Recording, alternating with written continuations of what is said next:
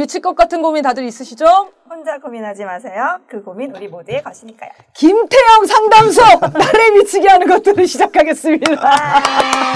네, 안녕하세요. 김맹구입니다. 안녕하세요. 신성미입니다. 네, 심리학자 김태형입니다. 네, 여러분 이름을 바꿨습니다. 이 새- 새해를 맞이해 4월에 이름을 바꾸고 개편을 좀 해봤는데요. 청춘 실현 극복 방송 나를 미치게 하는 것들로 저희가 이제 시즌 3라고 하면서 이름을 시- 진행했었는데 원래는 청남이. 네, 청남이로 줄여서 불, 불렀었죠. 로고도 그렇게 박혀 있었고. 근데 사람들이 다 뭔 말인지 모르겠다고 이 의미를 모르겠다 하셔가지고 김태형 선생님을 앞세워서 대박을 좀 노려보는 방송으로 전환을 했습니다.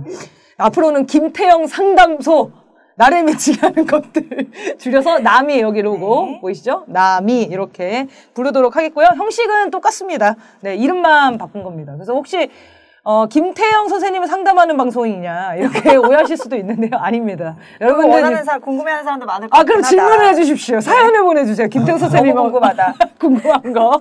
네, 그래서 김태형 상담소, 어, 여러 가지 이제 사연들이랑 사회와 관련된 질문들을 무- 엽죽고 이 답변을 듣는 그런 방송으로 쭉 가도록 하겠습니다. 그래서 사회 분석 에 좀 초점을 맡아가지고, 맞춰가지고 저희가 이, 런 뉴스 방송들은 엄청 많잖아요. 저 다른 유튜버들 거의 도배가 돼 있는데 보면은 사람들이 다 암울해합니다. 이 세상이 바뀌는 거냐, 대한민국은 답이 없다 이런 얘기 많이 하신 하시는데요. 선생님이 늘 꾸준히 한국에는 희망이 있다를 주장해 오셨던 분이기 때문에 선생님의 저서들 책 몇 권을 선정해서 그 내용을 좀 더 추가적으로 많이 다뤄보도록 하겠습니다. 자, 그러면 댓글 소개 먼저 하겠습니다. 한나 전님, 예상은 했었는데, 최근에 지인으로부터 자신의 엄마가 태극기 집회에 돈 받고 참석하곤 했었다는 말을 들었습니다. 네, 이건 실제로 일어나는 일인가 봐요. 제가 잠시 의심했었는데, 네. 음, 사실이었다. 네, 네. 네, 명님, 내가 할 용기는 없고, 미국 간 김에 어떤 이에 총 맞아서 실신으로 돌아오길 바랬습니다. 네. 주- 어, 목- 목적어는 없죠. 네. 그러네요. 주어는 없죠. 네, 근데 그런 얘기들 많이 하잖아요. 그 북한에서 미사일 쏘면 아. 어, 좀 청와대로 떨궈줘라. 뭐 이런 이야기들. 아, 안 돼요. 용산이 떨고 아, 용산, 그쵸. 용산으로 청와대 떨궈줘라. 큰일 납니다. 우리. 한 방만 좀 해줬으면 좋겠다. 뭐 이런 얘기도 하시고, 촛불에 나가면은 정말 너무 분노에 가득 찬 분들이 어. 많아요. 진짜 실제로 저한테 조용히 와가지고, 이건 안 끝나. 누가 죽여야 끝나는 것 같아. 막 이렇게 진짜 걱정 어린 목소리로 네. 얘기하시는 분들이 있거든요. 근데 저는 이제 그걸 보면서 아, 극단적인 표현들이 좀 많이 이렇게 나오는 걸 보면서 극우 세력들의 난동도 좀 문제지만, 이 촛불에서 보여지는 이, 아, 뭐라고 해야 될까요? 폭력성이라고 하긴 좀 그런데 이제 극단적인 감정 상태 이게 좀 위험하진 않나 이런 좀 걱정을 했었거든요. 선생님 어떻게 보시나요? 뭐 그동안 너무 오랫동안 국민들을 괴롭히다 보니까 이 정부가 임계치가 좀 올라가긴 올라갔죠. 한계점을 넘어서는 측면이 있어요. 그러다 보니까 그런 현상들도 있고 네. 또 각자의 개인의 문제들도 있을 수 있거든요. 음. 자기의 마음의 상처라든가 해결되지 못한 숙제라든가 이런 것들에 대한 분노가 같이 합쳐지면서 네. 통제 불가능의 분노를 경험하시는 분들도 있을 수 있다. 음. 근데 사실 이 민주화 운동 혹은 진보 운동을 하는 사람들일수록 제일 마음이 건강해야 됩니다. 음. 마음의 상처를 잘 치유해야 돼요. 그렇지 않으면 건강하게 이 민주화 운동이나 저항 운동을 할 수가 없다. 네. 사실 모든 운동은 사랑에 기초한 거거든요. 누군가를 사랑하기 때문에 특히 이웃들을 사랑하고 가족들을 사랑하고 나라를 사랑하고 그래서 이런 저항도 하는 거거든요. 근데 그게 아니고 분노 때문에 하는 분들도 있어요. 네. 화가 너무 많이 나서. 음. 예, 그렇죠. 그 화가 네. 꼭이 정권 때문에 나지 않는 것도 있는 거죠. 음. 자기 개인의 문제라든가 쌓여온 그동안에 네. 그런 것들이 촉발제를 이제 던져준 건 이제 물론 윤석열 정부예요. 음. 그거는 뭐 부인할 수 없는데 그것이 불을 붙여서 그거까지 막 활활 타면서 자기가 스스로를 통제하지 못하는 수준의 분노를 느끼는 분들도 있을 수 있다. 네. 이런 분들은 또 개인적으로 그런 문제를 해결해야만 음. 오랫동안 이런 저항, 항쟁 이런 걸 할 수가 있다 하는 점 말씀드리고 싶습니다. 우리 좀 조, 그럼 조심해야 될 거. 그러니까 내 네. 안에 분노를 다스리는 거는 뭐 그거대로 하는데 현장에서 좀 조심해야 될 거. 뭐 이런 건 없을까요? 그런 분을 음, 만났을 음, 때 음. 어떻게 돼야 어떻게 될지 좀 모르겠어요. 대처하면 좋을지 음. 알면 좋을 것 같아요. 음. 그럼 이제 물어보세요. 이제 네. 누가 하나 죽어야 끝나면 어떤 걸 원하시는 거냐. 음. 구체적으로. 음. 그럼 윤석열을 개인적으로 테러하면 해결될 것 같냐. 음. 뭐 이제 등등등 그 사람이 이제 그게 해결책이 아니라는 거를 깨우쳐 줄 필요가 있겠죠. 네네네. 너 지금 상태가 안 좋으니까 화를 진정시켜야 돼. 이러면 더 화날 거고. 마음에 상처 있으세요? 막 아. 그러면 안 되죠. 예, 그러면 안 되겠죠. 네. 그래서 그 방법이 현실적이지도 않고 네. 도움이 안 된다라는 거 이런 걸 주시킬 필요가 있지 않겠어요? 제가 저는 이제 그런 얘기 들으면 아 너무 마음 공감된다. 근데 음. 우리 민주적인 방법으로 끌어내려야 우리 국민들의 다 승리가 될 수 있다. 이렇게 대처하는데 잘 하는 건가요? 음, 그. 아, 그건 이제 괜찮은 저하고? 반대로 얘기하는 거잖아요. 네. 똑같은 내용인데. 네. 네. 그러니까 저도 민주적인 방법을 얘기하지만 음. 저는 거꾸로 이제 그 사람이 주장하는 방법을 물어보고 듣고 그게 음. 문제가 있다는 걸 스스로 생각해 보라고 하는 식의 화법을 쓰는 거죠. 생각해 보시라고 네. 어, 합리적으로 네. 상식적으로 네. 아 알겠습니다. 자 여러분들 이제 이런 분들 만나시면 이제 화를 좀 이렇게 들어드리면서 또 그렇지. 새로운 방법을 네. 좀 생각하실 수 있게 네. 도와드려야 될 것 같습니다.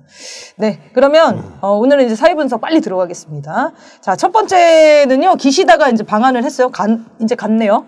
국립현충원에 방문해서 방명, 방명록에 기시다 후미오 일본 총리 가카이 한국 방문이라는 프린트된 종이에다가 서명을 날인을 하고 갔다는데요. 성의가 없어서 이렇게 없을 수가 없습니다. 그런데 제일 궁금했던 건 왜 첫인정으로 공항에 도착하자마자 현충원으로 먼저 갔거든요. 이 의미가 뭘까? 음. 네. 얘기해봤으면 좋겠습니다. 우선 어, 한국의 극우 세력 입장에서는 이 국립현충원은 사실 이념을 떠나서 뭐 좌우, 뭐 진보, 보수를 떠나서 국가를 위해서 싸웠던 분들이잖아요. 음. 이게 뭐 그 당시에 옳았던 옳지 않았던 그분들 자체의 그 마음은 건강한 거잖아요. 국가를 음. 위해서 희생한 거. 그런 분들을 모신 장소인데 이제 국가적인 추모 어 뭐랄까 네, 기- 공간? 공간이라고 해야 되겠죠. 근데 이걸 극우 세력은 이용할 나릅니다. 음. 정치적 도구로 이념 대결을 부추기는 이념 갈등을 부추기는 하나의 도구로 이용하려는 목적이 굉장히 강해요. 음. 뭐 이제 예를 들면 거기에 친일파를 뭐 빼자 이런 거에 대해서 반대하는 것도 이제 그런 이유 아니겠습니까? 네네. 뭐 공로도 있는데. 예, 예. 그러면서 또 자기네 쪽에서 볼 때 이념적으로 편향된 쪽 사람들은 집어넣고 음. 좌파는 좀 빼고 음. 뭐 이런 식의 시도를 계속 하잖아요. 네. 그러니까 얘들은 사실 모든 것을 정치적 도구로 이용하려는 목적이 있는데 현충원이 좀 그런 측면이 있어요. 음. 그러니까 지금 음. 역사적으로 이제 상징적으로 그렇게 네, 네. 이용해. 민, 민주당은 그렇지 않 는데요. 음. 그나마 음. 현충원을 그렇게 대하지 않는데 극우 세력은 그런 식으로 대한다는 거죠. 현충원 하면 극우 보수의 성지 뭐 이런 식으로 음. 이제 그런 방식이다 보니까 기시다를 거기 데려가서 어, 추모하게 하는 것을 그들 원했을 가능성이 있고 음. 그다음에 기시다 입장에서 보면요 쫄개들 사열하러 가는 거일 수도 있어요. 쫄개들? 네, 친일파들. 아. 그러니까 이, 국립현충원에 친일파를? 많이 묻혀 있지 음. 않습니까? 한 70여 명 묻혀 있다고 하더라고요. 친일 친일 인명 사전에 등록된 네. 사람만. 맞아요. 친일 행적이 네. 확인된 사람. 실제로는 뭐 더 있다고도 봐야 되겠죠. 그렇죠. 네. 그러니까 박정희 같은 경우에는 친일 인명사전이 있습니까? 없죠. 아, 없는데 친일파잖아요. 음. 어, 그럼 플러스 한 유명 한. 명. 네. 이제 그런데 가서 이제 쫄개, 플러스 한 명. 어, 네. 쫄개들 묻혀 있는 데 가서 이렇게 쫄개들 머리도 만져주고 음. 어, 고생했어 앞으로 더 열심히 해 뭐 이렇게 얘기하는 그런 측면이 있지 않을까 음. 군국주의자로서 뭐 그런 생각이 들어요. 그러니까 이제 일종의 죽은 분 사람들이지만 사회를 받는 듯한 느낌. 음. 그래서 누구는 그렇게 얘기하더라고요. 이거 그냥 신사참배한 거랑 똑같은 거다. 그러니까요. 어, 네. 일본을 위해서 충성했던 자들을 위해서 네, 네, 네, 네. 애도를 하는. 맞습니다. 네. 뭔가 보여주기 식으로 하려고 했지만 그 속마음은 음, 이럴 것 음, 같다. 음. 네. 아, 모욕적인 방문이었어요. 이거 사실 네. 거, 거부했어야 되는데. 그렇네요. 네. 만약 이런 거라고 한다면 음. 어, 많은 사람들이 이런 생각을 가진다는 것은, 그러니까 사심이 있을 거다라고 생각, 생각 을 가진다는 것은 어느 정도 진짜일 수 있다는 네, 네. 거잖아요. 그러면 정말 되게 화나는 어, 일이네요. 음. 어, 보여주기식 이상의 문제가 있었던 방문 같아요. 어, 그러면 이렇게 이례적으로 되게 빨리 답방을 했잖아요. 그러면서 기시다 총리는 앞서 한일 관계 개선을 주도한 윤 대통령님의 용기 있는 이거 나 이말 읽기 너무 약간 기분이 나쁜데. 음. 음. 음, 윤석열의. 네, 윤석 윤 대통령님의 용기 있는 결단을 높이 평가하며 이에 조금이나마 보답하는 마음으로 이런, 이번 답방을 결심하게 되었다라고 발표했는데요. 왜 이렇게 다급하게 방한한 걸까요? 뭐 그런 얘기 있잖아요. 네. 뭐물 들어올 때 노져라. 그러니까 지금 아, 미국이 네. 제일 중요하게 생각하는 거 아태 지역에서 네. 한미일 군사동맹이거든요. 음. 다 아시, 아실 것 같아요, 네. 이제 국민들이. 한미일 군사동맹을 미국이 이제 빨리, 하루라도 빨리 만들고 싶어 하는데 그걸 하기 위해서 사실은 윤석열 대통령도 미국으로 초청한 거고 미국으로 초청하기 전에 일본 가서 형님들한테 걸림돌 되는 거 다 치우겠다고 네. 얘기도 하고 와라. 그래서 형님들이 이제 밥 사주면 잘 얻어먹고 와라. 해서 일본에 갔다 왔지 않습니까? 네. 그리고 미국에 갔고 미국에 가서 또 약속 받았겠죠. 돌아가면 확실하게 매듭 짓겠습니다. 음. 그럼 바로 전화 걸었을 거예요. 유승열 떠나면. 야, 기시다야. 어, 성렬이 내가 잘 해놨으니까, 싸바싸바 해놨으니까, 이때 애 까먹을 수 있으면 좀 있으면, 빨리 가서, 매-. 어, 그냥 어. 도장 찍고 매듭 짓고 다 짓고, 약속 받- 받고, 네. 정리하고 와. 네. 이렇게 해서 빨리 온 것 같아요. 어. 당연히. 약간 나한테 좋은 조건의 방이 나오면 빨리 계약하잖아요. 그렇죠, 그렇죠. 어, 그러니까 이 찰나를 놓칠 수가 없는. 네. 네. 그 아, 이런 참. 이런 해석도 있더라고요. 그 지금 오염수 방류 네. 그거 확답을 아. 그때 못 받았나 보죠? 그 한일 정상회담 때. 아. 그래서 다시 한번 확답 받으러 온 것 같다. 에이, 그때 다 있고. 했을 겁니다. 제가 볼 아, 때는. 미, 그러네요. 그래가지고 시차단 이제 구성하는 게 너무 속도가 빠르다고 얘기한 게 그거군요. 아니, 보세요. 이 용기 있는 결단이라는 말이 음. 결국 윤의 매국, 매국적인 행위를 얘기한 거잖아요. 네. 아무도 못했던 그동안. 네. 매국, 매국 노짓을. 네. 윤 대통령이 그걸 했단 말이죠. 음. 그러니까 용기 있다고 보는 거죠, 일본 사람 입장에서. 야, 이 매국노 대단하네. 그리고 이, 이것도 있습니다. 일본 내에서 지금 윤석열 지지율이 하락할까봐 걱정이 많잖아요. 네, 네, 맞아요. 보도도 많이 네. 하는데. 그래서, 아, 지지율 좀 높여주러 자기가 음. 답방을 빨리 해야겠다. 이런 분석도 있거든요. 그거는 뭐 조금 고려한 사항이 될수 네. 있겠죠. 근데 기시다가 온다고 지지율이 지지율- 높아질 것 같지 않은데. 와, 와서 뭐 사과를 하고, 그러니까. 이러면 독도는 한국당이 분명합니다. 뭐 이런 정도 해야 지지율이 올라가죠. 그렇죠. 네. 네, 그러니까 이거 어떻게 이렇게 거- 그 사고를 하는지 잘 모르겠어요. 음. 자, 그럼 다음입니다. 이거는 흥미로운 주제예요. 대통령실에서 문재인 전 대통령이 중국 방문했을 때 8끼를 혼밥했다며 홀대를 받았다. 이렇게 주장을 했는데요. 뉴스버스 단독 보도를 보면 윤석열의 방미 기간 동안 17끼, 총 17끼 중 14끼를 혼밥했다는 게 밝혀졌습니다. 윤석열에게 밥이란 무엇인가? 이거 되게 중요하게 발언을 하더라고요. 마치 중국과의 관계에 아주 큰 홀대를 받은 것처럼. 호텔에서 혼자 먹은 밥도 들어간 거예요, 이거? 그렇죠, 그렇죠. 다 들어간 다 거죠. 들어간 거예요? 방 안에 숨어서 먹은 거는. 그거는 아직 아- 알 수가 없죠. 어, 그거까지 포함하면 더 많겠죠.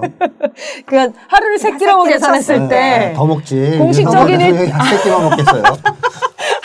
어, 그러네요. 수가 있었네요, 음. 약간. 그러니까 야식이랑 그. 이렇게 술안주나 이런 건 술안주, 포함이 되지 않은 겁니다. 그렇죠. 네. 네. 공식적인 만찬 몇 개만 지금 세 번밖에 안 했다는 거죠, 공식적으로. 자, 어쨌든 일반적으로 한국인에게 밥을 같이 먹는다는 것은 뭘 의미하느냐? 제가 이번에 쓴 책에서도 그거 좀 다루긴 했는데요. 어. 가까운 관계. 음. 좀더 정확하게 얘기하자면 가족 관계를 의미합니다. 음. 식구. 식구란 말이 그래서 있는 거예요. 먹을 식자, 입구자. 네. 같이 밥을 먹는 사이. 그리고 우리는 그런 표현도 많이 쓰죠. 한솥밥을 먹는 음. 사이라는 얘기도 해요. 그건 왜 그러냐면 옛날에 일가족은 한솥에다 밥을 해서 먹었죠. 음. 솥단지가 네. 있잖아요. 네. 거기에 밥을 해서 같이 그걸 퍼 먹었단 음. 말이에요. 같이. 그러니까 그렇게 한솥밥을 먹, 먹는다 그러면 가족의 가족. 밥을 같이 먹는 사이 가족. 그러니까 이제 아주 가까운 관계를 얘기합니다. 의미 있는. 음. 윤석열 대통령에게 그럼 이 밥을 같이 먹는다는 건 뭘 의미하냐? 난 외롭지 않아. 난 혼자가 아니야. 가족 이런- 같은 관계가 있어. 어, 뭐 이런 이런? 음. 내 주위에 사람이 있어. 뭐 이런 걸 이제 의미하는 게 하나가 있을 거고, 이제 보편적으로. 또 한 가지는 권위자와 함께 밥을 먹는 건 윤석열한테 특히 중요할 수 있어요. 그 바이든이나 뭐 기시다나 네. 천공이나 이런 사람들하고 밥 먹는 건 중요할 수 있거든요. 음. 권위자와 밥 먹는다는 건 뭘 의미하냐면 권위자가 자기를 받아들여 준다는 걸 의미하잖아요. 음. 그러니까 수용, 음. 인정. 아, 너는 내 패밀리의 한 일원이야. 들어와. 아. 어, 너, 이제 여기서 밥 먹어도 돼. 네. 이런 거잖아요. 그러네요. 조폭영 같은 것도 보면 음.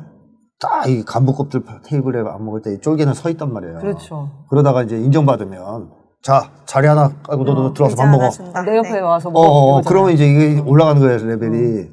그러니까 바이든 대통령과 같이 밥 먹는다 그러면 이제 윤석열은 이제 덩달아서 자기가 뭐 굉장히 출세한 듯한 그런 느낌을 받을 수 있겠죠. 네. 야 이렇게 세신 권위자가 뭐 세계 최고의 깡패 두목이 나를 앉혀놓고 밥도 같이 먹고 내가 이 정도야 음. 뭐 이런 느낌이 있을 수 있으니까 좋아하지 않을까요? 네. 그 대신 약한 사람들하고는 안 먹으려고 그럴 거예요. 그죠? 음. 의미가 없으니까. 자, 이런 의미가 하나가 있다는 거고. 그 다음에 또한 가지는 윤석열 대통령이 제가 볼 때는 인생의 낙이 뭘까? 술과 밥 아닐까? 이런 생각까지 들어요. 네. 어, 먹는 거 되게 좋아하는 것 같아요. 되게 네. 중요하게 여기는 것 네, 같아요. 네, 네. 네. 그리고 좋아하기도 하고, 네, 네, 실제로. 개인적으로. 음. 그러니까 옛날부터 어릴 때부터 사실 행복했던 일은 별로 없었을 거란 말이에요. 음. 맨날 혼나고 맞고 혼자서 밥 먹는 시간이 제일 즐거웠을 거아요 울면서 음. 어, 맛있는 거나 처먹자. 맛있는 거는 많이 먹었겠죠. 지금 네, 집에서. 그걸로 자기 위로를 하고 보상을 했을 수도 있거든요. 그러다 보니까 먹는 거에 좀 집착하는 것 같습니다. 예전에도 어떤 동영상을 보니까 식당에 가서 뭐 때문에 하여튼 간에 딴 일인데 그 식당에 붙어 있는 메뉴를 보면서 어, 어, 맞아. 이거 맛있냐 뭐 물어보는 장면이 나왔어요. 음. 그때 보리밥집. 아, 그렇죠, 그렇죠. 네. 그, 뭐, 뭐 힘들 때였는데, 뭐, 비가 많이 왔던 수제였나? 아, 그것 때문에 가놓고 아, 아, 네네네네. 기억났다. 어. 갑자기 그걸 보더니 이거 어. 맛있냐고 물어보는 장면이 나와요. 네, 맞아요. 이거는 진짜 조건반사적인 반응이잖아요. 네. 그 의도되지 않은. 그러니까 그만큼 관심이 많다는 거죠. 먹는 거에. 그, 그때도 예. 어디, 어떻게 저기서 저런 질문을 하고 그쵸. 있지? 예. 생각했는데. 어, 근데 윤석열 어. 대통령에게 그건 너무나 중요한 문제다. 먹는 거는. 네. 한마디로 해서 먹기 위해 태어난 인간일 수도 있다. 먹, 먹는 걸로 낙을 찾는 인간. 어, 유일하게 네. 낙인 네. 인간. 네. 근데 사실 이렇게 식탐이 강한 거는요. 음. 내면의 공허함과 관련이 있거든요. 심리학적으로 네. 볼 때. 그래서 윤석열 대통령이 외관이나 몸은 뚱뚱해도 내, 내적으로 내면은 비어 있을 수 있어요. 공허한. 배가 그런 고픈 인간. 상태. 네, 항상 네. 배고픈. 뭔가 들어와야 되는, 결핍돼 있는 느낌. 그러다 보면 계속 뭔가 집어넣어요. 먹고. 그리고 거기서 이제 쾌감을 느끼려고 그러고. 그런 것들이 이 밥에 대한 집착을 낳지 않았을까. 그러네요. 나중에 교도소 가면 괜찮을 것 같아요. 혼밥 안 하니까. 그러네요. 거기서 같이 밥 먹거든요. 아, 그럼 윤석열의 진짜 정신 건강을 위해서라도 네. 이렇게 콩밥을 드리는 게 좋겠어요. 네, 콩밥, 콩밥과 이제 어울려 먹는 밥. 어. 사람들과. 네, 완전 좋아하는 분위기잖아요. 네네. 사람 그쵸, 많고. 떠들썩하게, 그죠? 그리고 이제 자기가 위치를 좀 높은데 차지하면 이제 옆에 앉혀놓을 수도 있고. 교도소장 밑에서 먹으면 되지. 아, 그렇죠. 그 패- 패거리 문화도 좋아하고. 네. 아, 딱인 것 같습니다. 네, 알겠습니다. 네. 어, 우리가 몇 번 태영호 얘기를 했었는데요. 태영호가 요즘 팽당할 분위기라고 하더라고요. 최고위원으로 선출된 지 얼마 되지도 않았는데 연이은 폭로와 구설수로 징계를 준다고 하는데요. 김재원도 마찬가지고요. 강남 지역구의 윤석열 검사 라인을 꼽기 위해서 태영호를 쳐내는 거다. 이런 분석이 좀 많습니다. 근데 그러려면은 최고위원으로 선출될 때 막았어야 되는 거 아닌가 싶은 생각이 드는데 마음, 마음 에 안 드는 사람 다 날리고 전당대회에 적극 개입했는데 왜 이제 와서 태영호와 김재원 팽 당하는 걸까요? 음. 옛날엔 이렇게까지 애들이 음. 후진 줄은 예상 못 했겠죠. 음. 그건 우리랑 똑같을 것 같아요. 그래, 두 달 전 일인데요, 그게. 네, 두 달 전. 두달 사이에 사고를 마셨잖아요. 아. 우리는 윤석열 대통령 뽑는 국민들이 대부분 그렇잖아요. 저 정도일 줄은 몰랐다라는 게 있잖아요. 네. 뽑아놓고 보니 저 정도일 줄은 몰랐다. 아무리 최하를 그렇죠. 생각했어도 이 정도일 줄 몰랐다. 그렇죠. 네. 그 느낌을 윤석열이 받고 있는 거예요, 두 사람한테. 아, 공감했네 갑자기 국민에게. 아, 저것, 아, 저것들이 아무리 후진 줄은 알았어도 저렇게까지 애들이 후질 줄은 내 몰랐네. 이런 느낌. 어. 사실 두, 이 국힘당 세력은 이익 집단이란 말이에요. 제가 계속 얘기하자면 일일대 집단이란 말이죠. 네. 이익을 위해서 뭉치는. 따라서 쓸모가 없어지면 버립니다. 의리 같은 건 서로 없죠. 깡패들 사이에 무슨 의리가 있어요. 그러니까 갖다 버리죠. 쓸모 없으면. 근데 윤석열 대통령 생각에는 그래도 한 1년 정도는 가지 않을까, 저게. 네. 근데 1년이 아니라 두 달 만에 고장 날 줄은 몰랐던 거죠. 어. 그러니까 아주 불량품인데 불량품을 갖다가 이제 거기다 배치해 놓고 좀 오래 갈 걸 기대했는데 오래 가지 않더라. 그럼 더 이상 갖고 있을 이유가 없다라는 것이고 제가 볼 때는 인재가 없어요. 그쪽 사람도 하나 같으니까. 네, 없죠. 뭐 없죠. 윤석열 대통령 주변에 제대로 된 사람이 있겠어요. 검사들 물색에다 꽂아넣어 보십시오. 한동안 찜쪄 먹는 인간들이 쫙 또 나올 텐데 아, 이 국민들 혈압만 올라가지 어, 사고만 칠 겁니다. 어, 그러니까 이 태용과 김재원이 그런 사람이라는 걸 우리 국민들 다 알고 있었는데, 그쵸. 아, 윤석열은 몰랐다. 음. 그래서 저는 그게 제일 이해가 안 됐거든요. 그러니까 최고위원을 뽑고 조금 더 볼만도 한데, 그리고 얘네 둘이 완전 윤석열에 충성하려고 애를 썼잖아요. 막그 음. 대통령실에서 개입한 것도 그 얘기였잖아요. 네. 한일 정상회담 관련해서 발언을 좀 잘해줘야 되는 거 아니에요? 막 이러니까 바로 찬성 발언을 막 네. 했단 네, 말이에요. 네. 그래서 말을 잘 듣는 애인데 이렇게 팽을 당하는 게 이해가 안 돼가지고. 음, 잘 듣지만 음. 별로 도움은 안 됐던 거잖아. 아. 국민들의 여론이 예, 그게 자체 이 윤석열 입장에서는 검사 라인을 쓰고 싶겠죠, 당연히. 음. 처음부터 그럴 수는 없고 네. 당장. 그러니까 이제 주변에서 자기한테 충성을 바치겠다 하는 놈들을 썼는데 걔네들이. 엄청 잘하면 계속 쓸 생각이 있었던 거예요. 네. 어, 근데 대충 잘 못하면 언젠가는 검사 라인 내가 갖고 있는 측근들로 바꿔야지 하는 생각이 있었을 텐데 보니까 이제 사고를 빨리빨리 치니까 애들이 이때다 그, 싶어가지고 어, 아이 그럼 야야 귀찮아 저것들. 음. 윤석열 대통령이 굉장히 그런 점에서는 냉혹하다고 볼 수 있어요. 결단력이 있다고 해야 되나요? 네, 결단력 있는 거죠. 바로 바로 쳐버리는. 그 대신 아니다 내 쪽이다 이거는 내 측근이다 그러면 미친 듯이 붙잡고 안 네. 놔주는 뭐 그런 것도 있을 수 있겠죠. 음. 알겠습니다. 다음에 이제 누가 오느냐가 이제 달려 있겠네요. 네. 아, 아, 검사 라인 중에 한 명으로 그 되게 통용되는 사람이 있어요. 그 지, 이 지정했다는 주진우 검사인가? 네. 주진우 검사라는 사람이 있더라고요. 그 하여튼 검사된 제- 줄 알았네. 지, 지금 기억이 네. 안 나는데 하여튼 주요 주요 어. 역할을 했었고 윤석열 어. 주 라인인데 음. 그 사람은 예, 설이 계속 돌고 있더라고요. 그렇군요. 네. 어, 하- 어차피 올 것 같습니다. 강남은 어차피 당선권이기 때문에 음. 무조건 정치 그 이 활동 경력이 없고 근데 강남 강남은 개를 내보내도 되잖아요. 그러니까요. 토리 내보내도 네. 될 걸요. 토리를 꽂으려고. 네. 앞으로 지켜보는 걸로 하겠습니다. 자, 그러면 마지막 이제 정세 관련된 뉴스인데요. 김남국 의원 얘기를 좀 하려고 합니다. 그래서 김남국 의원이 지금 최근 보도를 거의 휩쓸고 있어요. 간단히 이제 사실 관계만 요약을 하자면 김남국 의원이 비트코인의 실명으로 아주 합법적으로 투자를 했는데 그게 최고점에 팔았으면은 60억 정도 되는 물량이었나 봐요. 근데 지금 폭락해가지고 실제 가치가 60억은 아니라는 거죠. 그리고 팔지도 않았습니다. 그 중에 인출한 돈은 440만 원 정도고 나머지는 여전히 지금 코인으로 갖고 여기저기 이제 옮겨다니면서 코인 투자를 한, 한 모양입니다. 여기까지가 사실관계고요. 일단은 불법적인 것은 하나도 없는 걸로 지금 밝혀지고 있어요. 근데 지금 프레임을 계속 짜고 있죠. 오늘 저희는 이 사건에 어떻게 영향을 미칠지 요거를 좀 짚으려고 하는데요. 주식이나 코인을 20대들이 굉장히 많이 합니다. 안 한 사람 찾기가 더 힘든 것 같아요. 그래서 이 사건이 오히려 코인 폭락에 대한 상처를 가진 20대들이 동병상련의 마음으로 김남국에 연민이 생기거나 아니면 어, 너무 무리한 공작을 하는 걸 보면서 가뜩이나 코인 폭락해서 열받아 죽겠는데 윤석열이 이걸 가지고 까? 그래서 윤석열에 대한 지지율 하락으로 이어질 거다. 이런 분석이 하나 있고요. 두 번째 분석은 조국 전 장관 때처럼 언론에 이제 60억 코인 투자, 어, 민주당도 이런 투자한다. 뭐 이런 식으로 프레임을 만들어서 청년들에게 상대적 박탈감을 느끼게 하고 민주당이 실망하게 만드는. 그래서 이 두 가지 그 전망이 있습니다. 어떤 게 좀 더 유력한 것 같은지 짚어보면 좋겠습니다. 음, 이건 두 가지가 다 나타날 가능성이 있어요. 어, 그런가요? 음, 어. 팽-. 그래서 장기적으로는 민주당이 어떻게 하냐에 따라서 그 결과가 좀 달라지지 않을까 싶거든요. 네. 그러니까 지금 국힘당은 계속 도덕성 공격을 하고 있지 않습니까? 네. 어, 처음엔 뭐 이재명 대표에게 집중되었다가 송영길 전 대표로 옮겨갔고 그리고 또 김남국 또 앞으로 또 계속 나오겠죠? 꾸준히? 그러니까 이런 공격을 계속 하는데 민주당이 여기에 대해서 어떻게 대응하느냐 그러니까 수세적으로 대응하느냐 계속 매번 변명하고 뭐 방어하는 쪽으로 가느냐 아니면 그야말로 이러한 이거는 정치 공작이고 어떻게 보면 민주당을 와해시키기 위한 어떤 공작이잖아요 무력화시키고 그러니까 위기감을 느끼고 정말 정면 대결 음. 쪽으로 나아가느냐 여기에 따라서 여론의 향방이 바뀔 가능성이 있다 어떤 식으로 대응하는 게 맞다고 보세요? 싸워야죠 어.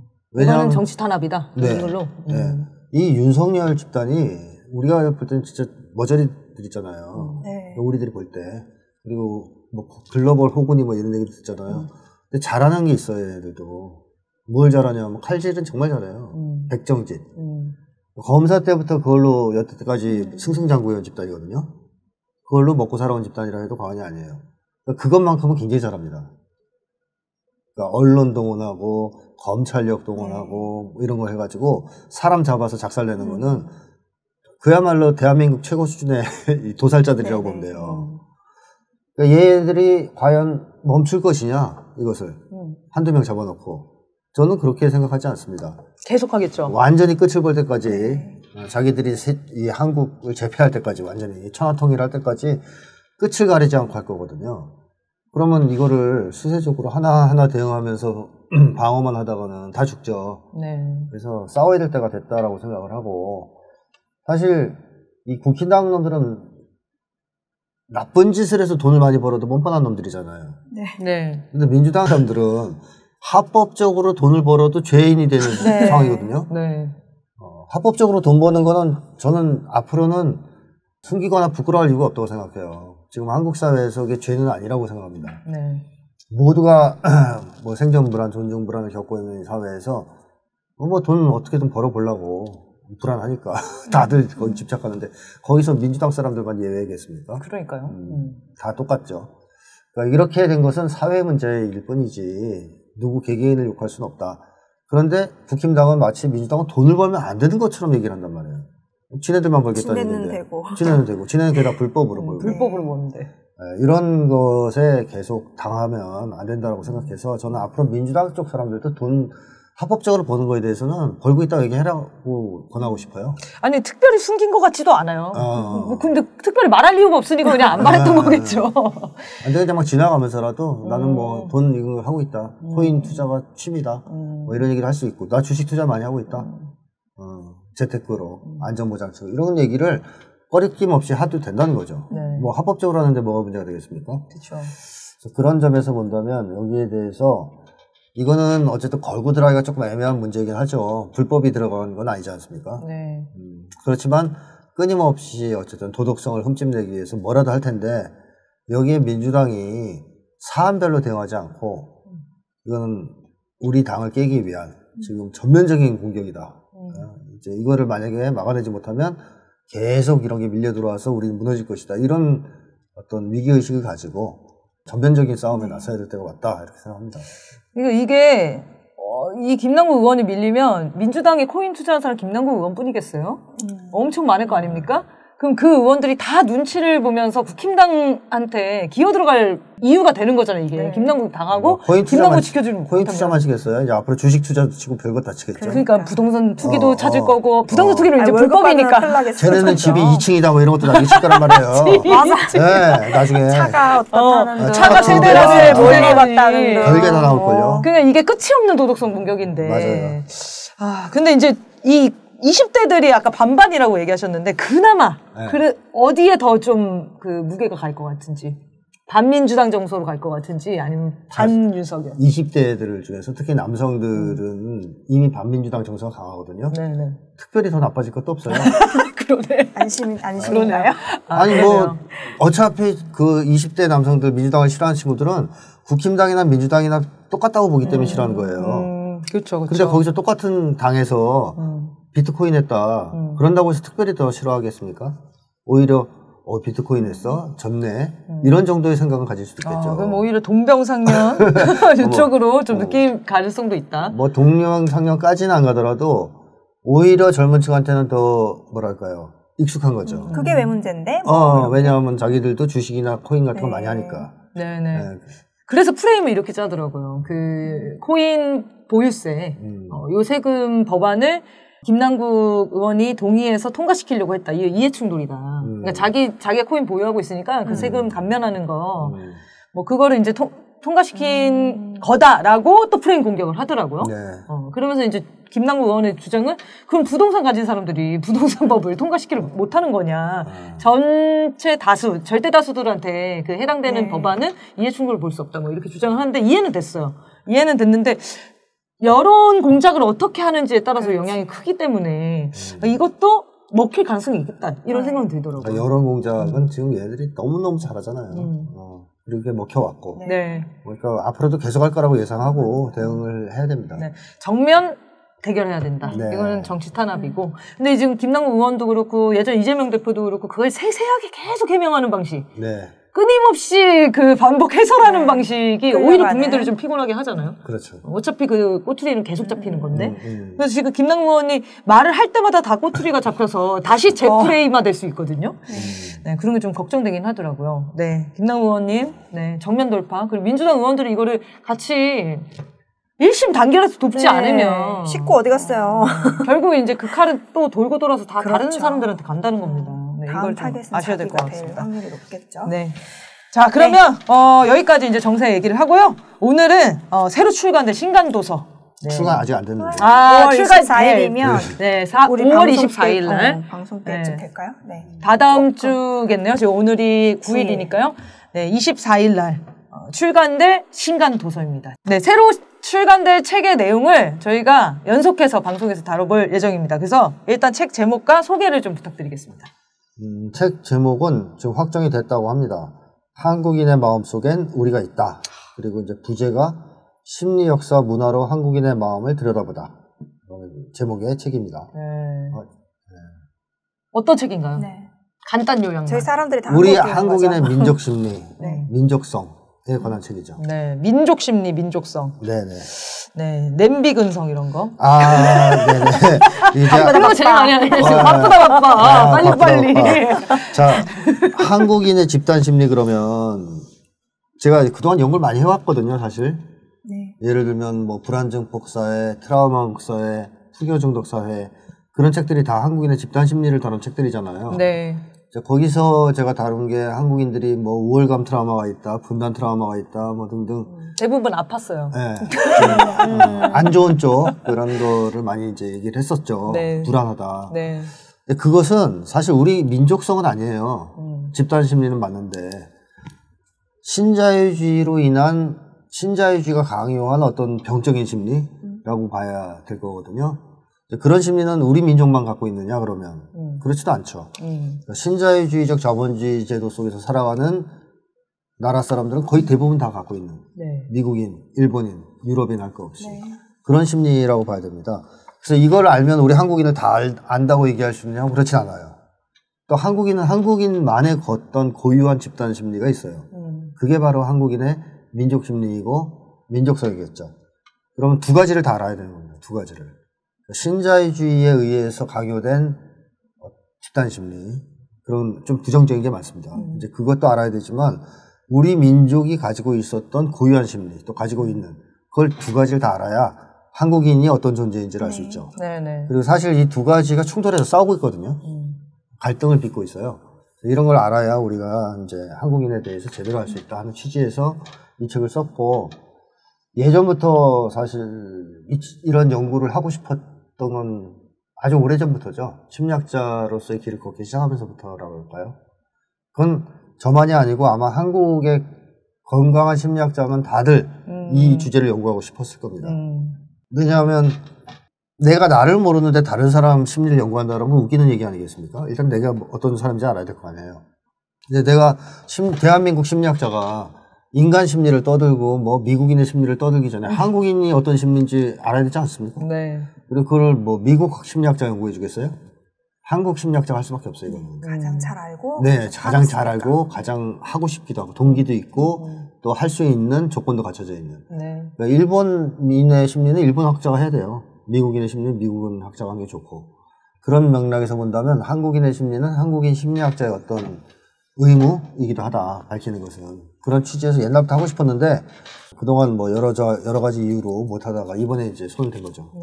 원래 그러니까 선생님이 쭉 저서를 보면은 인간 심리 이런 거 좀 연구를 하셨고 네. 아까 말씀하신 것처럼 한국인의 어떤 부정적인 심리 현상 어, 최근 이제 벌어진 신자유주의 시대 이후에 네. 이렇게도 했는데 생각해 보니까 그 민족성에 대해서 연구하신 책은 없네요. 네네네. 어, 그래서 굉장히 오래 준비한 책인 것 같습니다. 뭐, 그렇다고. 그래서 여러분 기대해 주시고요. 저희가 이게 야금야금 중요한 네. 내용들만 한번 짚어보겠습니다. 네, 민족성 예, 말씀하셨는데 민족성 챕터라는 곳에 이런 내용이 나오더라고요. 그러니까 지금까지 다뤄왔던 한국인의 집단 심리는 신자유적 자본주의 사회에서 살아가는 세계인들이 갖고 있는 심리이기 때문에 한국인만의 특성은 아니다. 조금 전에도 말씀해 주셨는데요. 네. 그런데 지금같이 세계인들과 섞여 살아가는 사회에서 한국인만이 가지고 있는 고유한 민족성이라는 게 과연 존재할 수 있느냐, 네. 다 섞인 거 아니냐 네. 이런 좀 물음표가 생기는데 음. 한국인만 갖고 있는 건지 아니면 다른 민족에게도 있는 건지 음. 민족성에 대해서 좀더 음. 설명해 주시면 좋을 음. 것 같아요. 뒤에 나온 질문하고도 조금 섞여 있는 것 같은데 어쨌든 세계인들이 섞여 살아간다라는 것은 그 영향을 많이 주고받는다는 거잖아요. 네.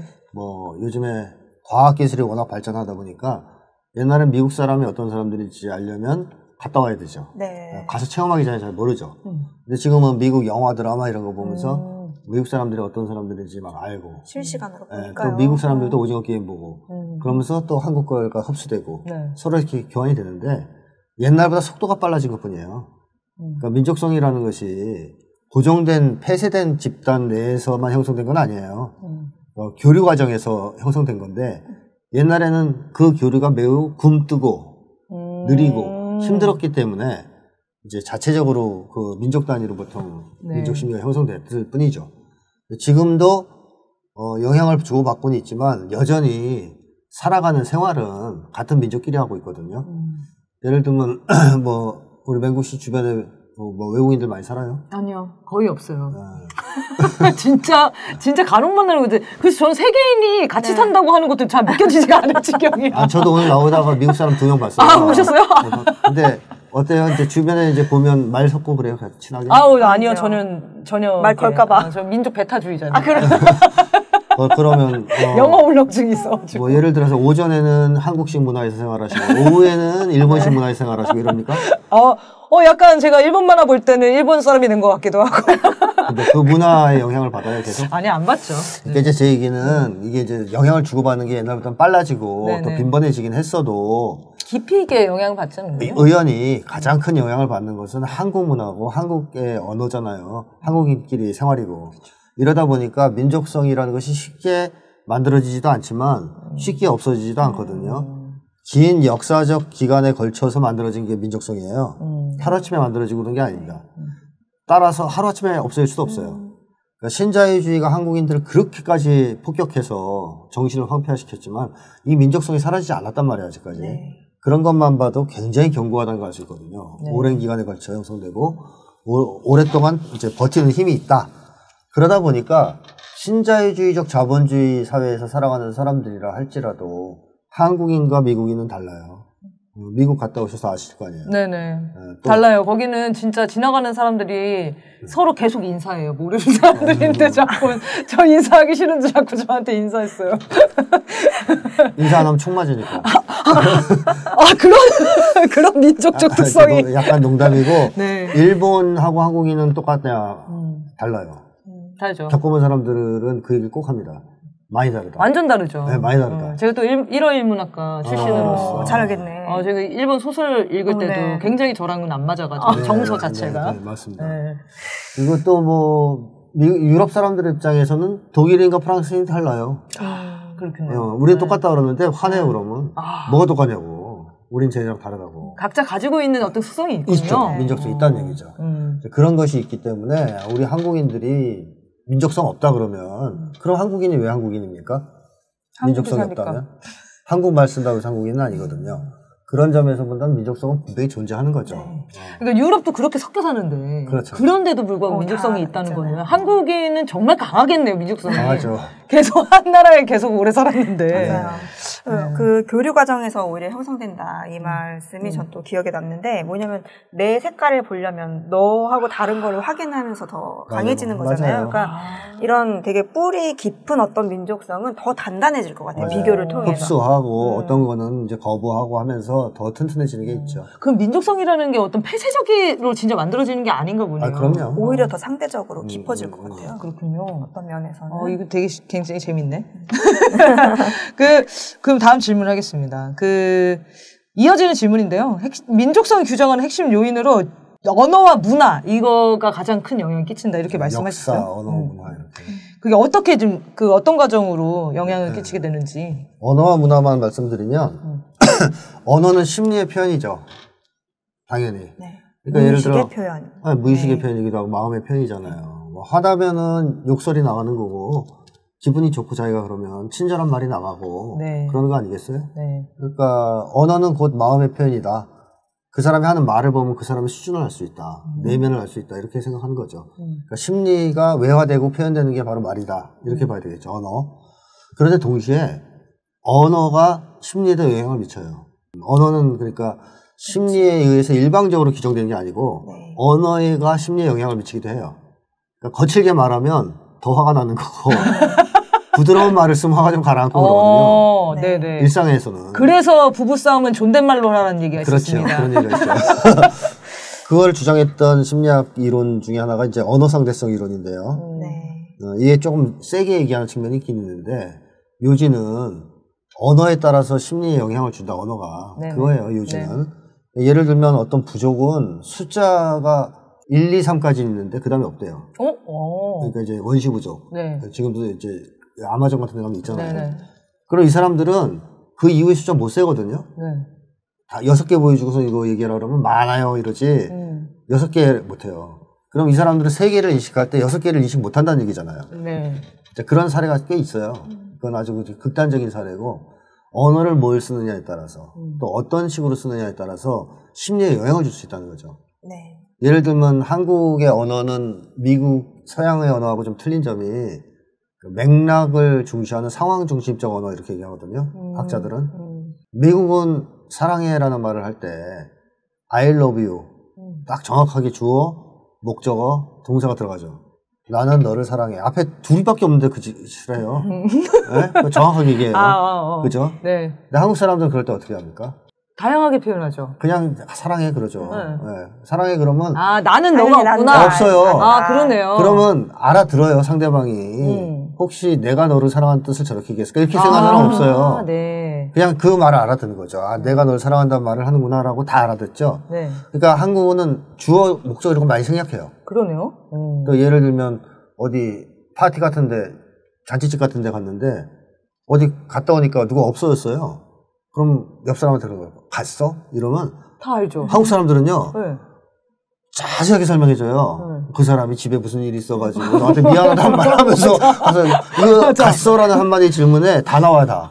미국 사람들한테 딱 갔어 그러면 갔다. 뭐야 이거 못 알아들어요. 아, 일단 못 알아들어. 뭘 알아들어 무슨 얘기인지 누가 누구 누가 누가, 갔다는 누가. 갔냐 그걸 얘기를 해야 된다고요. 아. 그러니까 한국 사람들은 그런 언어를 쓴다면 당연히 어떻게 되겠습니까? 상황과 맥락을 엄청나게 빨리 파악하는 능력이 발달할 수밖에 네. 없죠. 그걸 파악 못하면 언어 이해를 못하니까. 그러면 우리나라 사람들이 욕설을 굉장히 다양하게 표현하잖아요. 그렇죠. 러니까 외국은 욕설이 몇 개밖에 없잖아요. 개 손에. 꼽고 표현을 잘 못하는데 네. 그런 것도 영향이 있는 건가요? 그럼요. 우리? 어, 어. 분노를 아주 스펙트럼 아주 세세하게 다양하게 은유와 비유를 상황과 맥락을 넣어서 어, 막 상상이 되게 욕을. 하니까 아 그것도 우리의 어떤 민족성 같은 거네요. 그러면. 언어의 맥락이 들어가는 음. 거고 그 다음에 감정이 섬세하다는 거예요. 그만큼 음. 여러 가지로. 그래서 한국의 의성어, 의태어 이런 것도 굉장히 많고 그렇죠. 그 다음에 색깔을 표현하는 언어도 굉장히 다양하고 네. 뭐 그렇습니다. 그런 것들이 그런 언어를 쓰는 민족일 경우 사고 방식이나 심리 상태가 네. 다른 민족과는 다를 수 있다는 것이 바로 이 이론의 요지예요. 네네. 어, 그래서 언어를 우리 한국 사람들은 언어를 한국어를 쓰기 때문에 네. 당연히 그 영향을 받아서 우리 언어에는 민족성이 담겨 있습니다. 언어 표현, 언어 습관 이런 데에는 우리 민족성의 영향을 받아서 형성된 게 굉장히 많아요. 그러니까 한국어를 배우다 보면 자연히 민족성을 습득하게 되는 게 있다는 거죠. 음. 네, 또 하나는 이제 문화인데요. 이 문화는 굉장히 포괄적인 거라서 남대문, 뭐 팔만대장경 이런 것도 문화고 밥 먹는 습관, 네. 아침에 일어나서 이불 개는 습관도 다 문화예요. 네. 어, 그러니까 엄청나게 스펙트럼이 넓죠. 사실 문화라는 게. 이 문화도 당연히 사람들한테 영향을 주는데 왜냐하면 이 문화 안에는 그 민족이 그동안 쭉 발전시켜온 민족 심리, 민족성 이런 게 다 체현돼 있거든요. 네. 그래서 나라마다 문화가 다른 거 아니에요. 그 문화를 습득하는 과정에서 문화화라 그럽니다. 문화화되는 과정에서 자연스럽게 민족성을 받아들이게 되는 거죠. 음. 특별히 더 영향을 많이 미치는 문화는 이제 정신문화라고 봐야 되겠는데 어쨌든 문화를 습득하는 과정에서 민족성이 들어온다. 네. 그러니까 우리 한국 사람들은 태어나서 어려서부터 한국말을 배우고 한국말을 쓰고 음. 한국 문화를 접하고 네. 한국 문화 속에서 생활하고 이러다 보면 자연히 한국의 민족성은 전승되는 겁니다. 네. 과거로부터. 음. 그리고 지금 이 시점에서도 뭐 가족 생활에서도 한국인 특유의 그런 민족성들을 부모로부터 또 전수받기도 하고 음. 그렇기 때문에 민족성은 계속 유지 발전된다. 되게 지- 듣는 분들 지금 굉장히 궁금할 것 같아요. 그래서 민족성이 뭔데? 궁금하시죠? 한국인의 민족성. 자, 그건 다음 편에 얘기하고요. 오늘은 민족성의 개념에 대해서 이제 잡으려고 네. 하는 겁니다. 제가 요 질문 전에 하나만 더 네. 질문할게요. 그 쓰신 이제 책 내용에 민족 심리에는 민족적 특성과 민족적 감정이 있다라고 하면서 이제 분리해서 해설을 하셨거든요. 네. 요게 좀 해명, 해설이 좀 필요할 것 같아요. 나중에 책 읽으시는 분들은 아시겠지만, 민족적 특성이라는 거고, 특성이라는 것은 뭐고, 민족적 감정이라는 것은 뭔가, 네. 그러니까 인간 심리는 의식의 표현이라고 보시면 됩니다. 의식 현상이 인- 인간 심리거든요. 네. 그러니까 쉽게 설명을 좀 해볼게요. 우리 머릿속에 뇌에 뭔가 저장돼 있을 거 아니에요. 네. 윤석열은 나쁘다. 모자라다. 네. 나쁘다고까지 해야 되나? 모자라다. 모자르다? 예, 아, 이제 좀 온건하게 음. 이제 그 잡혀갈 수도 있으니까 아, 하도 그 얘기를 많이 들으니까 이제 좀 신경을 써야 되겠다. 네, 알겠어요. 자 윤석열은 모자르다는 게 머릿속에 일단 들어와야 돼요. 네. 그게 없으면 심리가 발현될 수가 없어요. 음, 그쵸. 윤석열을 보면 화가 날 수가 없다는 얘기예요. 음. 근데 일단 머릿속에 윤석열은 모자르다. 그리고 나라를 망치고 있다. 음. 이런 것들이 계속 들어오잖아요. 이건 의식이거든요. 음. 의식. 이런 의식의 기초에서 뭐가 발생하냐면 심리가 발생하는 거예요. 그쵸. 그러니까 윤석열 대통령을 화- 나. TV에서 보면 화가 막 나요. 네. 짜증 나고. 그리고 욕망도 느껴요. 때려주고 싶은. 음. 어, 욕하고 싶은. 욕망도 느끼죠. 그 다음에 또 이제 여러 가지 심리 현상이 발생할 수 있는데 대표적인 심리 현상은 욕망, 감정, 의지, 사고 이런 거거든요. 네. 이런 게 이제 발생하는 거예요. 그 의식의 기초에서. 이런 게 심리거든요. 그러니까 의식과 심리는 불가분의 관계에 있다. 음. 이걸 민족 심리에 적용해 보면 민족 의식이 있을 거 아니에요. 네. 우리 민족이 집단적으로 가지고 있는 의식. 한국인들이 공유하고 있는 이순신 장군은 훌륭하시다. 음. 도덕성과 관련된 것도 뭐 그런 것도 있고. 예. 네. 그 다음에 뭐 이- 안중근은 훌륭하지만 이완용은 나쁜 놈이다. 음. 음. 윤석열은 이완용이다. 뭐 이런 식의 이제 한국인들의 가진 집단 의식이 있잖아요. 네. 이런 게 집단 심리 현상으로 표현돼요. 음. 그게 바로 민족 심리인데 거기에는 민족주의 감정, 한국인의 민족의 특유한 욕망, 감정, 의지 이런 게 있을 수 있다는 거죠. 음. 그럼 마지막으로 특성은 뭐냐? 심리적 특성은 윤석열 대통령이 모자르다. 그래서 네. 볼 때마다 화가 난다. 음. 근데 그게 반복되면요, 음. 몸에 그 배요. 그 성질이. 음. 그래서 체질화 된다 그러죠, 보통 체질화. 음. 이럴 때 되면 나중에 몸에 뭐가 생기냐면 거친 공격성 같은 게 생기면서 아, 그런 사람을 보면은 화가 너무 나서 예. 실제로 행동까지 옮길 수 있는 그런 어, 그냥 정도? 막 터져나가는 어. 어. 이제 성실하게 살아야 되겠다는 생각을 하잖아요 머릿속으로 네. 네. 그러면 그 심리가 자꾸 작동할 거 아니에요 성실하게 살고자 하는 네. 또 성실함에 대해서 우호적 감정도 느끼고 음. 근데 그걸 반복해서 계속 성실하게 생활하면 몸에 뭐가 생기냐면 성실성이 생기는 거예요 음. 굳이 의지 하지, 의식하지 하지 않아도 않아도 자동적으로 수행되는 그 옛날에 책 많이 읽은 애들이 네. 나중에 책을 좋아하게 되고 책이 있으면 읽고 싶어 하고 뭐 그런 건가요? 개인적으로 치면 습성 같은 거예요 네, 네. 습관화 아, 되는. 습관화되는 있는. 거예요 아침에 일어나서 뭐 이 닦는 거를 음. 생각 안 해도 자동으로 하는 거예요 그냥 아, 네네네. 이제 그게 체질화됐다 그러죠 그럴 때 음. 처음에는 그것도 이런 생각 하거든요. 일을 닦아야 되겠다 생각을 하거든요. 음. 그래서 안 닦으면 혼나고 그러니까. 음. 그럼 이제 그렇게 해서 매일 짝, 닦잖아, 이거를. 그러다 보면 나중에 그냥 자동화돼요. 체질화되고. 음. 이런 걸 특성이라 그래요. 몸에 밴 거. 네. 완전히 자기 거로 된 거죠. 음. 그러면 어느 게 제일 사람한테 영향을 일상적으로 강하게 미치겠느냐? 특성입니다. 네. 왜냐하면 체질화됐기 때문에. 그렇죠. 예, 심리 현상은 나타날 수도 있고 안 나타날 수도 있어요. 그렇죠. 근데 특성으로 몸에 배버리면 이건 계속 나타나요. 음. 그 사람 계속 지배합니다. 음. 그래서 보통 한국인 얘기할 때 민족성이라고 많이 얘기하는 거죠. 민족성. 그건 민족적 특성을 얘기하는 거거든요. 음. 좀더 풀어서 얘기하면 민족이 집단적으로 가지고 있는 심리적 특성이에요. 음. 그러니까 나만 느끼는 게 아니고 모든 한국인이 갖고 있는 비슷하게. 느끼는 어떤 특성 느끼는 게 아니에요. 느끼는 게 아니에요. 아, 느끼는 건 아니고 이미. 심리고 네. 그걸 배서 음. 그냥 마- 말과 행동이 그대로 튀어나가는 어떤 음. 자, 이게 너무 궁금하시겠죠? 자, 다음 방송에서 하실 겁니다, 이거. 다음 방송 기대해 주시고요. 자, 네. 그러면은 이제 특성이랑 감정에 어. 대한 얘기를 좀 했고요. 네, 또 내용 중에 좀 흥미로운 게 있었어요. 한국 문화 중에 음. 다보탑 다들 아시죠? 다보탑보다 동학 사상이 더 강한 힘을 가진다라고 하셨는데요. 네네. 그 의미를 좀 더 설명해 주시면 좋겠어요. 우리나라 국보 아닙니까, 다보탑이. 음. 근데 다보- 어떻게 동학 동학 사상보다. 사상은 뭐, 아, 뭐 안정이 돼. 어, 이거는 국보가 아니지 않습니까? 자, 다보탑은 물질 문화를 상징하는 거고요. 동학 사상은 정신 문화를 상징하는 거예요. 네. 그러니까 물질 문화보다는 정신 문화가 더 큰 영향을 미친다는 거죠. 민족성에는. 그러니까 물론 우리 한국의 물질 문화, 예를 들면 예술 작품들은 자연미를 특징으로 가지고 있죠. 한국의 미는 자연미다 그럽니다. 자연미. 그래서 한국, 한국 사람들 청자 백자를. 네, 인공미를 싫어해요. 인위적인 거 싫어합니다. 한국 사람들. 색깔도 인위적인 색깔 싫어합니다. 아, 그래서 청자. 네, 자연적인 색깔을 좋아해요. 어. 그러니까 그런 예술품에 그게 들어가 있어요. 우리 한국인의 특성이, 민족성이. 자연미를 좋아하는 특성이 들어가 있단 말이에요. 그럼 우리가 청자백자 같은 걸 어릴 때 보고, 한국의 사찰을 보고, 건물을 보고, 문화재를 볼때 그걸 자연히 받아들일 수 있잖아요. 네. 자연미를 좋아하는 네. 어떤 특성을 배울 수가 있잖아요. 근데 이거는 사실 윤석열 대통령처럼 머리가 안 좋으면 꽝이거든요. 음. 백자를 보고 자연스럽다 이런 거 못 느끼는 사람이면 네. 자연미를 받아들일 수가 없는 네. 거예요. 아, 경주 법주가 일본 술인지 모르기 때문에 그거를 시켜서 먹는 것 같은 거군요. 그렇죠. 그러니까- 잘 모르고 그냥 우리 거구나 음. 이렇게 생각하는. 그러니까 대부분의 사람들은 받아들일 수 있겠지만 못 받아들이는 사람들도 있고 또 받아들이는 데서 정도차도 심하고. 그렇죠, 그렇죠. 어, 뭐 작품에 한국의 대해서는 한국의 그렇죠. 건축을 보면서 음. 네. 아 이거는 어떤 의미가 있어. 그래서 음. 이게 우리 거야. 이렇게 생각하면서 그걸 받아들이는 사람도 있지만 음. 그게 뭔지도 모르고 그냥 술 먹는 장소로만 생각하는 놈도 음. 있을 수 있잖아요. 그러니까 이런 거는 사람들한테 받아들여지는 정도가 상당히 간접적이라는 거예요. 아. 네. 그리고 천차만별이겠네요. 천차만별이고. 네. 개인차도 심하고. 네. 근데 도학사상은 분명하거든요. 음. 인내천. 음. 사람을 귀중하게 여기는 사상이죠. 이런 것들을 배우게 되면 거기에 공감하고 아 적어도 우리 민족은 이런 사상을 가지고 있었구나 알게 되면 그 자체가 사람들한테 상당한 저- 영향력을 미치게 되죠. 그래서 이 물질 문화보다는 아무래도 정신 문화에 더 민족성이 강하게 어, 음. 녹아 들어가 있고 또 그걸 받아들일 때 정신 문화를 접했을 때 더 빠르고 효과적으로 그걸 흡수할 수 있다. 네. 그래서 저 영향을 크게 미친다. 정신 네. 문화가. 알겠습니다. 네. 그러니까 문화재가 다 파괴돼도 언어와 문화가 살아있으면 그 민족이 민족성을 유지할 수가 있어요. 왜냐하면 정신 문화는 살아있기 때문에. 네. 정신 문화가 다 죽으면 문화재가 있어도 소용이 없게 되는 것이죠. 네.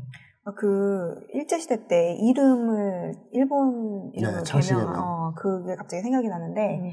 그러니까 단순히 이름이 바뀌는 문제가 아니라 그렇죠. 그것이 갖는 의미가 더 중요했던 맞습니다. 거니까 정신 문화를 네. 말살하는 거죠. 음. 그런 의도였던 것 같으니까 네. 정신이 더 중요하겠네요. 네, 5번. 네, 민족성이 고정 불변한 게 아니고 새로운 민족성을 창조할 수 있다라고 하셨는데요. 네, 네. 어떻게 그렇게 할 수 있을까요? 자, 오래 미- 걸린다면서요, 민족성을 가지려면. 오래 오래 걸려요. 네, 그러니까요. 어, 그러니까 창조가 하루 아침에 된다고 제가 얘기한 게 아니고 네. 지금 우리가 시작하면 네. 그게 이어지면 오랫동안 음. 먼 후손들은 아. 그걸 민족성으로 가지게 될수 네네네. 있다라는 얘기죠. 아. 근데 이미 한국인은 하나의 민족성을 창조하는 중이잖아요. 음. 항쟁? 민족. 촛불 항쟁, 음. 네. 항쟁의 민족이라. 음. 그러니까 이제 그거를 해방 이후에만 해도 여러 차례 성공시키면서 네, 그러네요. 현재 거의 체질화시키고 있는 중이잖아요. 음. 이게 이어지고 나면 나중에 한국 민족은 그야말로 항쟁의 그 항쟁을 하는 특성 음. 뭐 이런 것들을 가질 수도 있지 네. 않겠어요? 음. 그러니까 이제 의식적으로 창조할 수도 있어요 민족성을 그런 점에서는. 음. 그런 것 중에 고정 불변 아니 오랫동안 지금 갖고 있는 민족성의 뭐 대표적인 거랑 음. 그리고 새로 좀 형성된 걸로 보여지는 그 촛불 말고 음. 어, 저희가 좀 이해하기 더 쉬운 거? 한거 없죠. 없나요? 네. 아, 아직 성- 형성하기 좀 어렵나요? 네. 민족성. 딱 이거다 이렇게 얘기하기 어, 좀 그럼 어렵죠. 촛불이 지금은 가장 상징적인 네, 그- 아직 형성은 안 됐지만 네. 가능성이 있다. 어, 이게 계속 유지가 된다면 네. 어. 근데 그 사실 촛불도 더 뿌리를 치고 들어가면 음. 인간 중심성과 상당 상관이 있거든요. 이미 음. 옛날부터 갖고 있었던. 네. 네. 그게 이어져서 발현이 이렇게 그렇죠. 되는 거네요. 네, 아. 오늘날의 현대적 표현일 수 있어요. 그럼 그거는 사실 민족성으로 형성이 됐다고 봐야 되는 그렇죠. 거네요. 기, 그렇죠. 기저에는. 네네. 그 내용은 이제 다음에 또 더 자세히 다뤄보는 걸 하겠습니다. 자, 민족성에 대한 연구가 중요한 일 앞에, 앞에서도 한번 설명을 해주셨는데요. 더 중요한 이유가 있다면은 조금 더 설명해 주시죠. 우선 우리가 우리를 알고 싶지 않겠어요. 한국 사람들은 제일 궁금한 게 한국 사람들 아니에요? 나의 뿌리. 네, 이번 뭐. 찍은 사람들 심리 제일 알고 싶으시죠. 알고 그것도 알고 싶겠죠. 그건 제가 여러 차례 얘기했으니까. 네. 그거는 건강하지 않은 심리에서 기초한 거고 뿌리를 알고 싶죠. 음. 우리 한국인은 어떤 사람들이냐 도대체. 음, 뭐 그리고 아프리카 사람들보다 훨씬 더 궁금한 거고 그게. 그렇죠. 그렇죠. 다른 네. 점도 좀 찾고 싶고. 그렇죠. 음. 그래서 우리가 누구인지 알고 싶은 거. 그거는 내가 누구인지를 알고 싶은 것과 통하는 질문이에요. 음. 그러니까 누구나 다 관심이 있을 거라고 저는 생각하고요. 음. 근데 또 하나의 이유는 우리가 한국 사회를 어떻게 개혁할 것인가에 대해서 해답을 줄 수 있기 때문에 저는 이게 중요하다고 봅니다. 건전한 사회가 어떤 사회냐? 네. 인간 본성이 실현되는 사회가 건전한 사회입니다. 간단하게 얘기하면. 그러니까 인간이 가지고 있는 본성이 원만하게 잘 실현되는 사회가 건전한 사회예요. 그것을 가로막는 사회는 병든 사회고 모든 인간에게 통용되는 전 세계에 통용되는 지구인. 보편성이에요. 네. 그럼 전 지구인이 다 똑같은 사회를 만들 거냐? 그렇진 않아요. 음. 한국 사람들은 어떤 사회를 만들어야 건전한 사회이고 그것이 한국 사람 입장에서 또 행복해질 수 있는 사회냐? 우리 민족성에 맞아야 돼요. 네. 민족성에 맞는 사회를 건설해야 한국인은 행복할 수 있어요. 아. 이거는 특수성이에요. 네. 그러니까 전 인류에게는 인간 네. 본성의 실현이 중요하다면 한국인에게는 인간 본성의 실현은 당연한 당연한 것이고 민족성 실현이 돼야 돼요.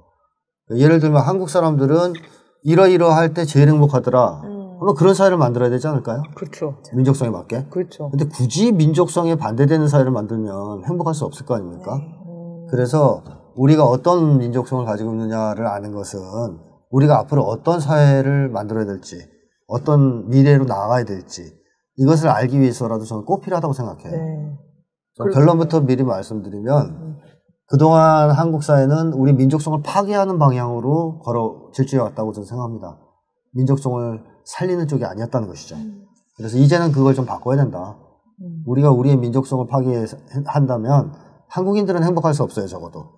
뭐 다른 나라 사람들은 어떨지 몰라도. 네. 그래서 우리가 정말로 건전한 사회에서 행복하게 살고 싶다면 우리 민족성을 알고 그것을 잘 실현할 수 있는, 구현할 수 있는 그런 사회로 나아갈 필요가 있다 하는 말씀을 드리고 싶어요. 하나만 더 하겠습니다. 여기 그 이제 그 머린 말이죠. 이게 지금 민족성에 관한, 관한 얘기를 하고 있는데 여기 예시로 한국 사회의 높은 자살률이 한국인의 민족성에서 비롯된 거 아니다. 이렇게 표현을 하셨거든요. 그러니까 우리 선생님 자살공학이라는 저, 저서도 내셨고 네. 한국 사람들이 전 세계 자살률 1위잖아요. 네. 지금 10대 자살률은 진짜 심각해지고 네, 있더라고요. 맞습니다. 그래서 아 우리의 한국 사람들은 희망이 없는 사람들이야 이렇게 생각할 수 있잖아요. 네. 이게 왜 일어나는 현상인지 이게 왜 민족성이랑은 다르게 해석해야 되는 건지 그 얘기만 먼저 얘기 좀 해주십시오. 제가 본문에서 그걸 다루고 있는데 네. 신자유주의가 전 세계를 거의 집어삼켰지 않습니까? 이 신자유주의 특징은 뭐냐면 개인화입니다. 네. 대표적인 특징이 개인 간 경쟁 체제잖아요. 각자 네. 도생해라. 네, 각자 도생 체제. 그 전까지는 최소한 자본주의 사회라 할지라도 집단 경쟁 체제였어요. 그러다가 신자유주의 체제가 개인 경쟁 체제로 전환시키면서 다 개인화됩니다, 사람들이. 그러면 한국에서 나온 결과가 뭐냐? 공동체 체제죠. 음.